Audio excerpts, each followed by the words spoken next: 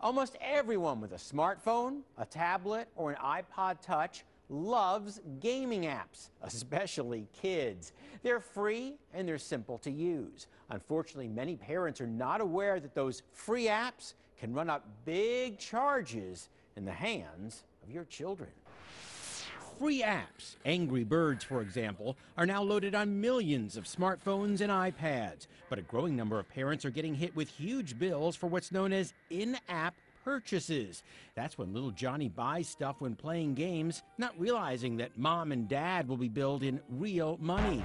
The website consumeraffairs.com says one girl ran up $700 of in app purchases from DragonVale, a popular kids app. Another spent over $1,000 in real money buying Smurf berries from a Smurf app. And from the Doesn't That Stink file, the way app makers allow kids to spend their parents' money.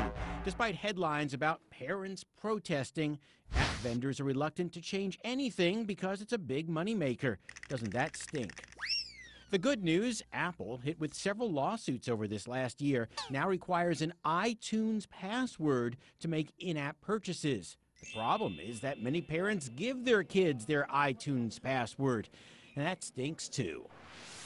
Bottom line, make sure you check out any app that you let a child use. If it allows purchases, make sure your young one understands not to make any, and that way you don't waste your money. I'm John Matarese.